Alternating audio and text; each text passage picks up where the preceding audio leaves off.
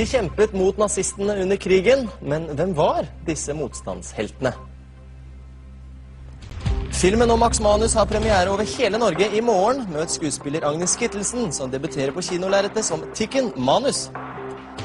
Hun kan holde pusten under vann i 6 minutter og 15 sekunder. Dette har gitt fridykker Elisabeth Christoffersen internasjonal anerkjennelse. Tredjeplass nå, det kan bli pollen dette. Ja, da skal det være mye skrall hopping oppå der. Nå skal du være med til Bischofshofen også. Hva tenker du om det nå?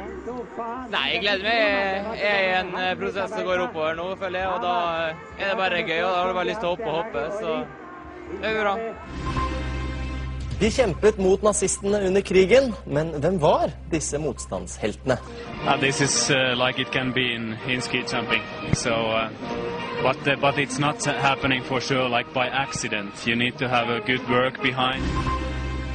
De kjempet mot nazistene under krigen, men hvem var disse motstandsheltene?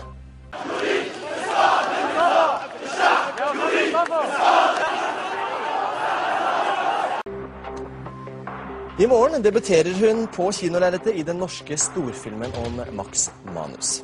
I filmen om motstandsmannen under andre verdenskrig spiller hun hans store kjærlighet, Tikken. India is a market with many faces.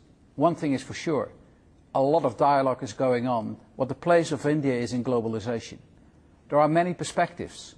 There is the Indian perspective and their growth. There is the so called Western perspective, all around outsourcing and is it a threat or an opportunity? And there is a third perspective, the perspective of the individual. What does it mean for people to have the opportunity De kjempet mot nazistene under krigen, men hvem var disse motstandsheltene?